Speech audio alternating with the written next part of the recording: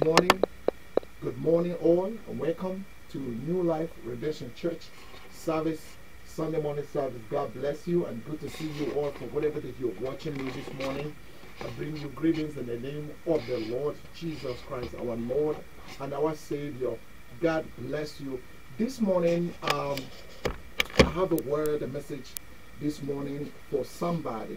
The Lord says, I should tell you something good is coming out of this wreckage. Amen. Something good is coming out of that wreckage. I don't know who this word is for this morning. I want to encourage you by this word.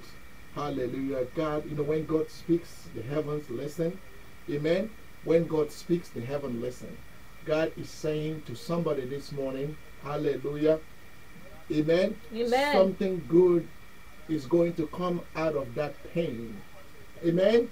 Something good is going to come out of that pain. Maybe you are in a, a difficult place this morning. I don't know what circumstance that you find yourself in, or, amen, similarly, perhaps you find yourself in an in- a similarly impossible situation. God is speaking to somebody this morning. He's dropping a word of encouragement. And he said, I should tell somebody that something good, something great, amen, something unbelievable, amen, is going to come Amen. out of that pain. Amen. Hallelujah. It's going to come out of that situation. I don't know what kind of mess, wreckage, or fire you are walking through or you have been through. But the good news, amen. The good news Amen. is something good is going to come out of that experience. Amen. We, God is a God of hope and He is a God of possibilities. Amen. God is a God of possibilities. Amen. Hallelujah. Glory be to the Lord, church family. Amen. I want you to believe it. Believe it like something that, amen, a good news. Hallelujah. Believe it in your heart. Amen. Amen. Don't lose focus on God because He's speaking to you this morning as He's speaking to me. Amen. Something good. Amen. Something great is coming out of, is going to come. Amen. Amen. You are going to experience something new from that wreckage. Amen. Maybe maybe it's a failed relationship. Maybe your marriage is not what you are have been expecting. Amen. Maybe it's a job problem, financial crisis. Amen. You see, religion have conditioned the Christians or people to believe that God only operates. Overflow only comes when we have economic uh, a bumper harvest. Religion condition people to believe that, amen, Amen. growth only comes when the economic indices is good. When we have abundant production, people often believe that that is when miracles happen. But that is not the way it goes in the realm of the spirit or in based upon the divine principles of God. You see, in God's economy, God does not economy does not follow man's economy. That's right. Amen. God economy is different from man's economy.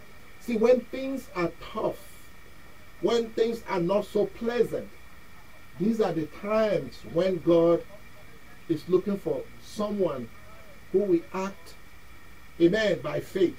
Someone who will step out so that that person will be a testimony to the miracle of God. Amen. When Jesus walked on the face of the earth in human form, there were people who were there, but they never received miracle. They never got healed. There were those that never got their problems solved. Amen? Amen. Because they could not connect. Amen. Amen. With Jesus. They could not connect with him. So, in a time like this, I hear testimonies of people buying new houses, not one, not two. I hear testimonies of people launching out their business, people moving into new, better careers. Amen. But we also hear those people who are redundant, who are not going anywhere in their career.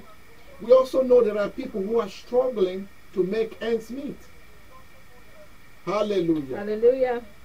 But by God's grace, we know there are people who are testifying on the wonderful grace of God upon their life. We hear people getting married, children are being born and dedicated. One thing I've always believed, as the scripture says, as long as the earth abides, seed time and harvest time will never cease. Amen. The sun comes after darkness, after the night. There's a daytime, right? Summer always follows what? Spring. Spring always follows winter. So these things are programmed and it has not stopped to happen. So we must not lose hope. Amen. God has not stopped to operate. Even in the most difficult circumstance, God still abides. Amen. Amen. So I don't know what kind of mess, wreckage, mistakes, or mistake, wrong choice that you may have made. But I know we serve the God of second chance. Amen. We serve a God of second chance. Amen. You see, God promised us beauty for ashes as a crust of the very life in His words. Amen. Amen. The very life in His words, which is in His word, which is life. You know, the Word of God is life. Yes. The Word of God is living. Amen. He speaks in Isaiah. The reason why I say speaks because the word in Isaiah is alive.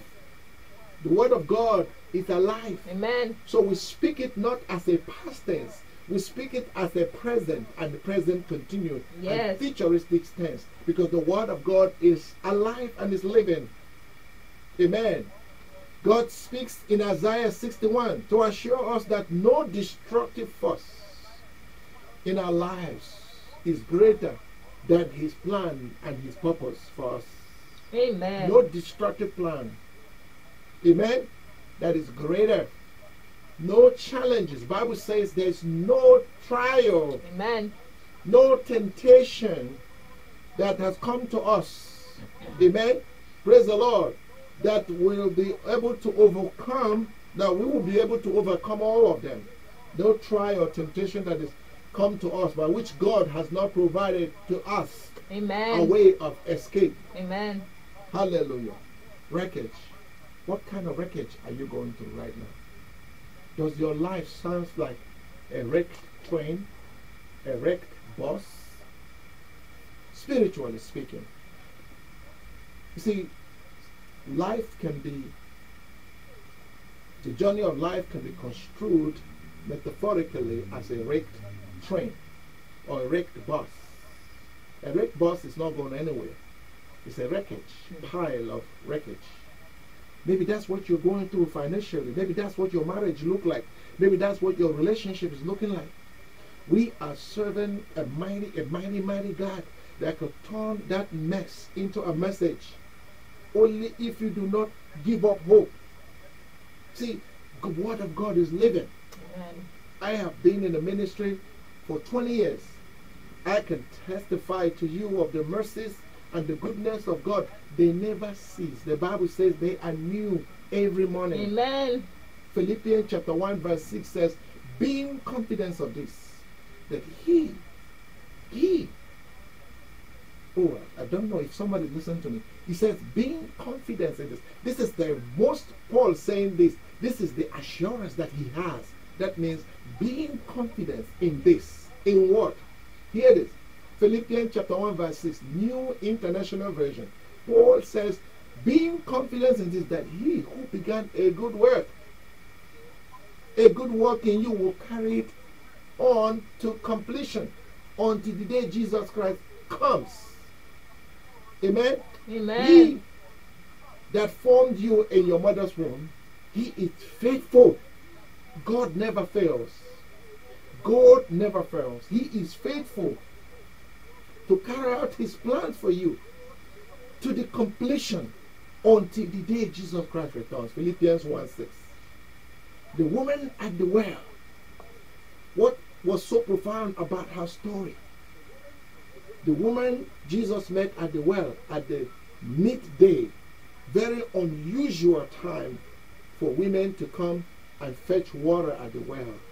She came by herself, alone, which was also not part of the tradition. In that time, when women maidens go to fetch water, they go in groups. They don't walk out alone. They accompany one another. But she came out alone because something was wrong. The Bible says she had tried several times to be married, to live with her husband. Five times she tried. It didn't work out for her. Her life seems like a wreckage. She did not meet societal standard. She has failed five times. How many times have you tried at your job? Maybe to try to be that model wife, that model husband, that uncle that is the ideal uncle. Maybe that daughter that is the most ideal daughter, husband, uncle, cousin. At your job, you put in more than is required. How many times have you tried at life purpose and it seems like each time you try, your train just get wrecked. Hmm. You crash it. Because maybe you did it, you did it, make that decision based upon the limited information that you have. Or because nobody else have made a pathway for you. You try to do things the way you know how. But each time you try, you fail. But I'm telling you from today onwards, as you hear this word and you stand on the word of God and you put him first. For the Bible says, Seek ye first the kingdom of God and his righteousness, and every other thing shall be added unto you. Amen. Many of us have received vision about how the future is so glorious and beautiful. But we didn't wait for God to finish what He has started. We thought that we can move things a little further. We thought that we can we can be a little faster. We can get ahead of others. You know, I've learned many years ago, I was in a university. Back then, the lecturers and professors were on a labor union strike. Six months we were home because they could not resolve the issues about salaries and conditions of their job. Six months we were home. I was young. I didn't know what to do. It wasn't easy getting a job. I got frustrated. Many of, of us, my friends, and we all got frustrated. We, we, we to hang out. We got tired of hanging out. We just wanted to finish school, follow our dream, like every other young man. Second year in university. Six months, moving to seven months to eight months, almost a year. We were home. One of my brothers, my older brother, came to me. He told me, he said, Let me tell you something, brother. It is not he that starts the race that finishes first. Amen. I still remember because over 20 years now, over 20 years, 25 years now. He said, Let me tell you something, my little brother. It is not he that starts the journey that finishes first. It is not he that starts the race first that finishes first. He told me that, and I was, I felt a little better. Amen? I felt a little better.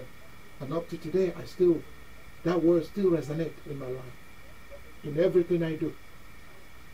It is not he that comes first that wind up becoming the first.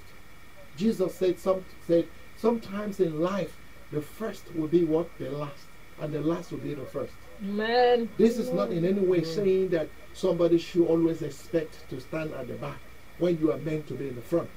For the Bible says, We shall be above and not beneath, the head and not the tail. But when you have tried all you could, when you have put all effort, when you have read and spent, burned your midnight oil, when you have pushed so hard, when you Hallelujah. have done all that you want to do Amen. to change the history and to change, amen, to change the narrative of your life. You see, some of us are not comfortable with average. We are not comfortable where we are. Some of us are not comfortable with the little that we have. We want to push a little further. We want to change the narrative in our family. We want to create a new path so that those that comes after us will find a platform to lean upon. Some of us want to push a little extra. We want to make a little extra effort. We want to put a little, press a little hard.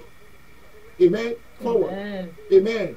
So that the, the ones that come after us will find a pathway where they can also build upon a platform they will be able to build their future on. Amen. But many times when we work so hard, we push so hard, we read, spend midnight hours and lost some sleeps, work extra hard. The more we work, sometimes it seems like the more we work, the harder it gets, the less success we accomplish. And if you do not have your hope, put your eye on God, you might begin to lose hope.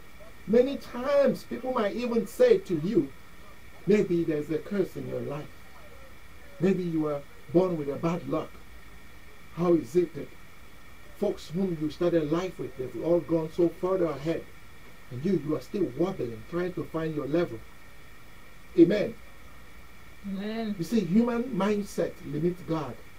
The way mind, our mind play trick on us, the way the devil influences mind's mind can make us to lose track and lose and limit God.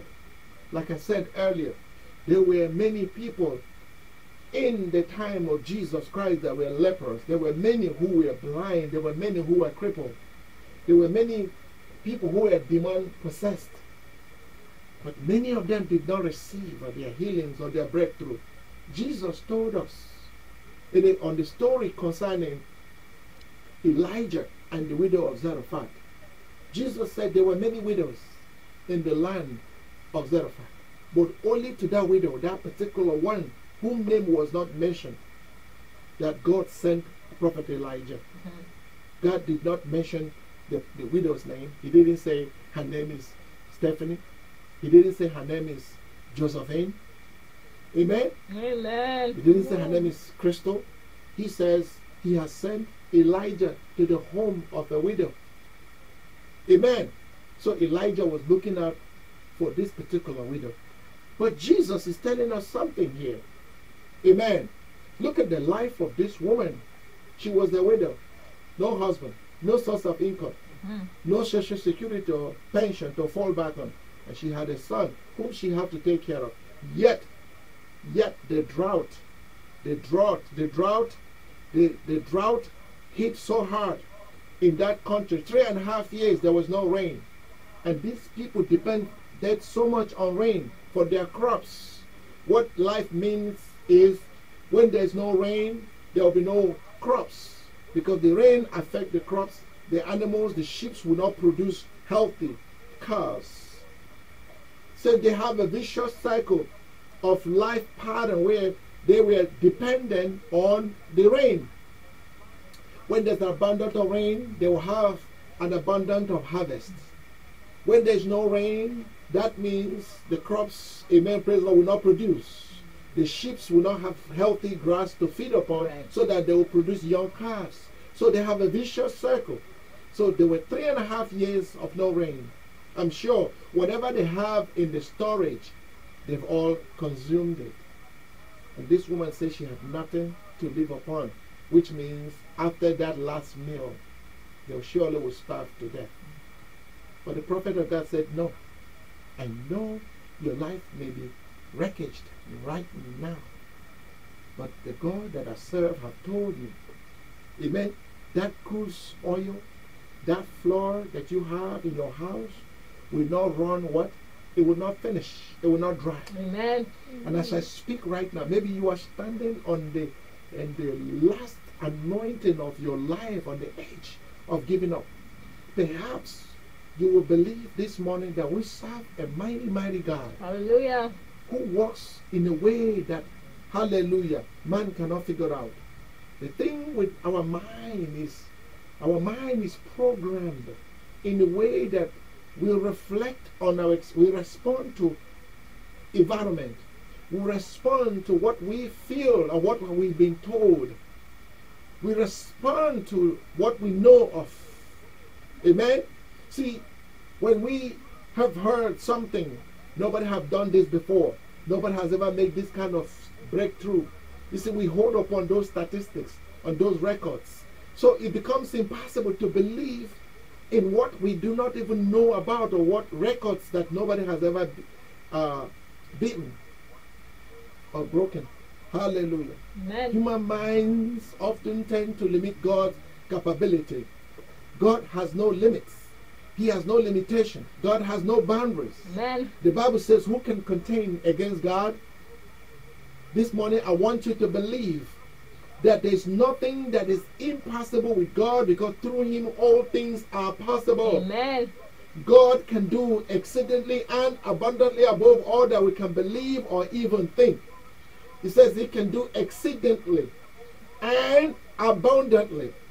You see, we talked about good measure, shake down, shake it together, run it over kind of blessing. When God do things, nobody can change. When God approve, nobody can disapprove. That's right. Amen. He is sovereign. Amen. God above all gods. His courts is the court of heaven.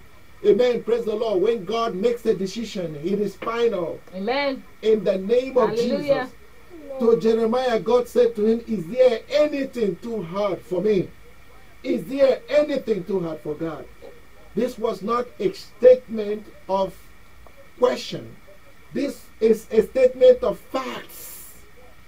When God told Abraham, I will make of you a father of nation, Abraham looked at himself and Sarah and is sure this is impossible.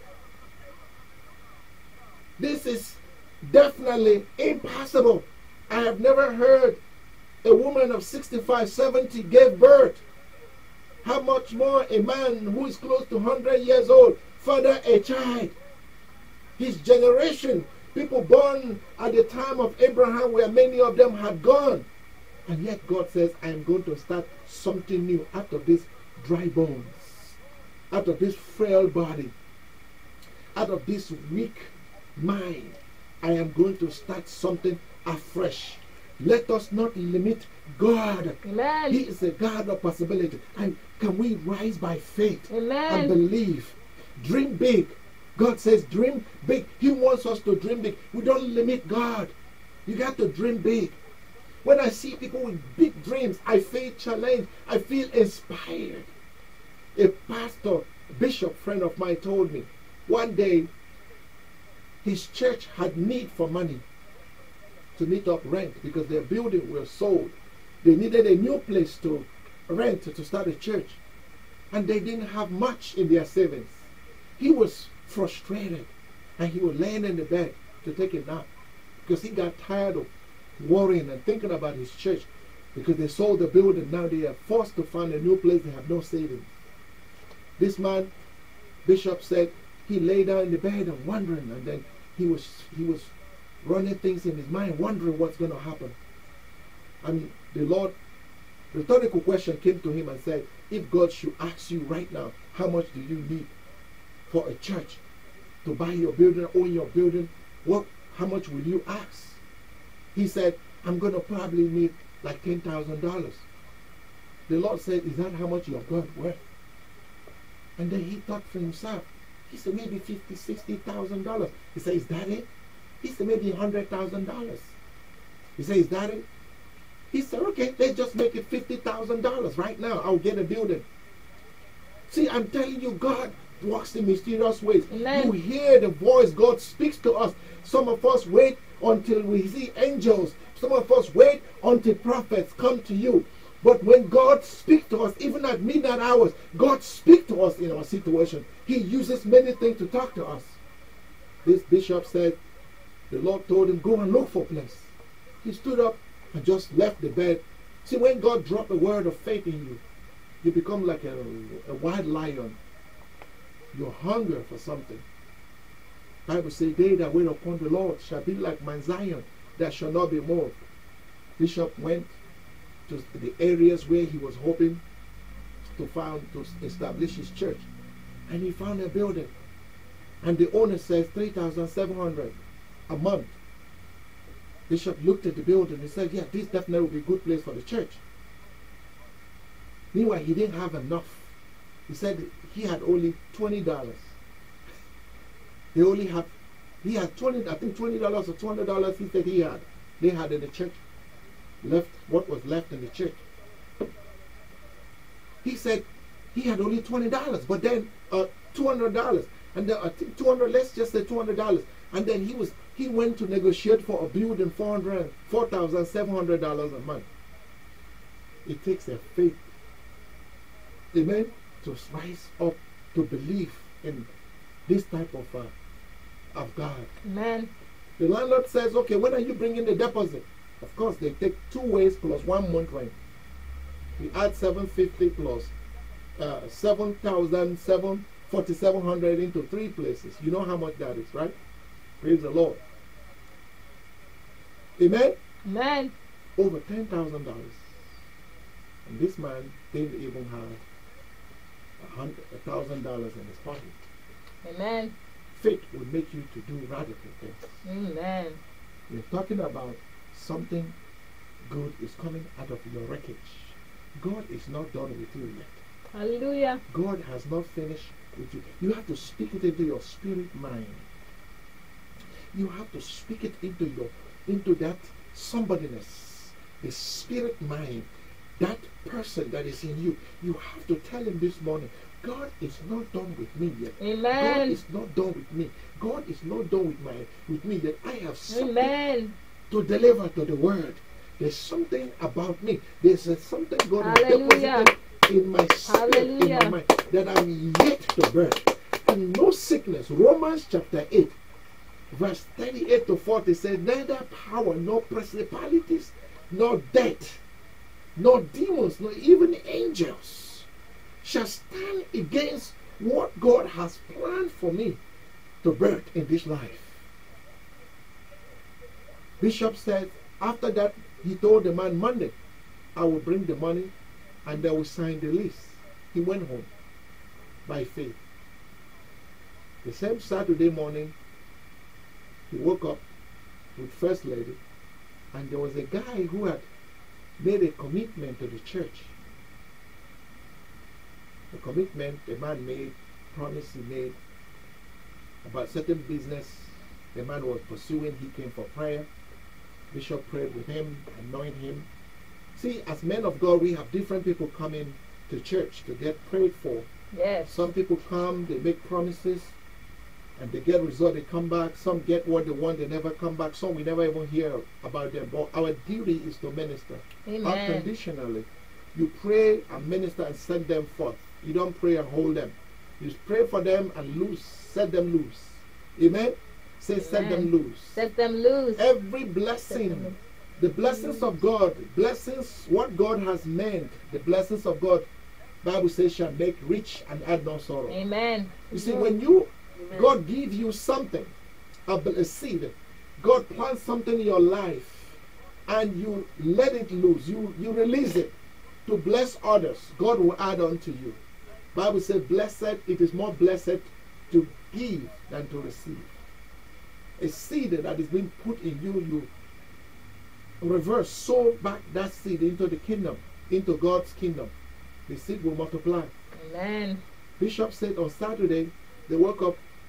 Monday is still a few days ahead. You know, sometimes when you need urgency, when there's an urgency, you know, you think you have enough time. Monday seems too far now.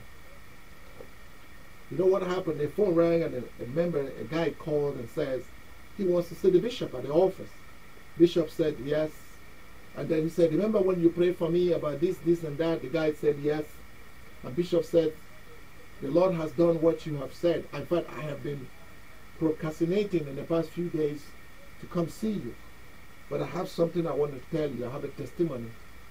The guy came and the bishop, he dropped what he gave Bishop, the seed that he sowed in the ministry, the tithe that he gave for the church. Amen Amen. was almost seven times. Amen. Almost not seven. It's about 10 to 20, 20 times what was the building was worth. They had enough money to pay rent for even a year. Amen. Let's say a year's worth of rent. I'm giving this very testimony to show you that no matter how sad, how bad your life is, Jesus Christ is able to give you a turnaround. Amen. The Bible says in Daniel chapter 11 32, they that know their God shall be strong. That even in the midst of simile, that is paraphrased, I added a word to it, not added, but I paraphrased it. Amen. Amen. Emphasis. I added emphasis. Daniel 11 32, one of my favorite verses. It said, They that know their God shall be strong, even in the midst of adversities, and they will do what? Mighty exploit. Mighty exploit. Amen. We have been called to subdue.